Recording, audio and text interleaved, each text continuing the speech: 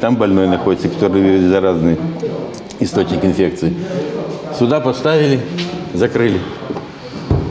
А такие шлюзы были раньше? Да, только деревянные. Деревянные шлюзы еще полбеды. От инфекционного отделения приходили в ужас все барнаульцы. Свои недовольства они выплескивали в соцсетях. Народный гнев продолжался 12 лет. И лишь этой весной на капремонт инфекционного отделения край выделил 32 миллиона рублей. Сейчас осталась пятая часть работ.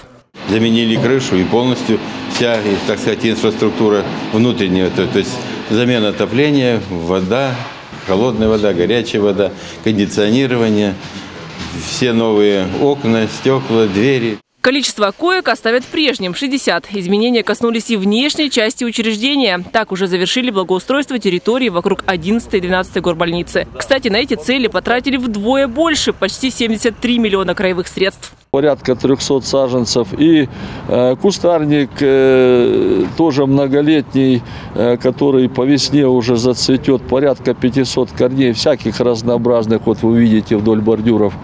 Вот. А, это по земельной составляющей. Естественно, освещение, столбы, фонари, провода.